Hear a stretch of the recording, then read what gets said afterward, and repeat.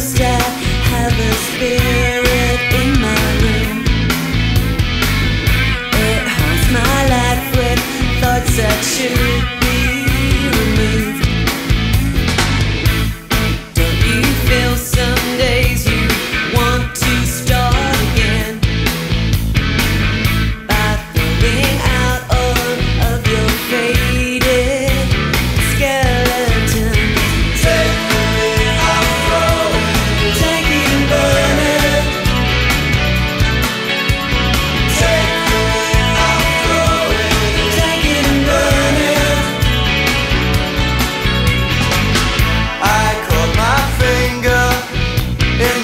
of your dress.